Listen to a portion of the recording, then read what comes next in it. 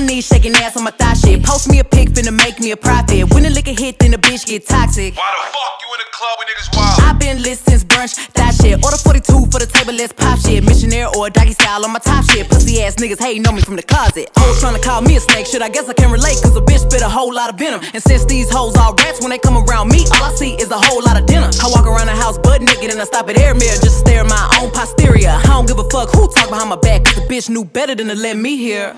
Hands on my knees, shaking ass on my thigh shape. Hands on my knees, shaking ass on my thigh shape. Hands on my knees, shaking ass on my thigh shape. Hands on my knees, hands on my knees, hands on my knees, shaking ass on my thigh shape. Hands on my knees, shaking ass on my thigh shape. Hands on my knees, shaking ass on my thigh shape. Hands on my knees, hands on my knees. Hoes said they wish a bitch would, and I'm a genie. Bitch so hot, gotta stay in bikinis. He got a girl, but he keep begging to see me. I love it when a nigga got a mouth full of VVs. No, I'm not a patient, but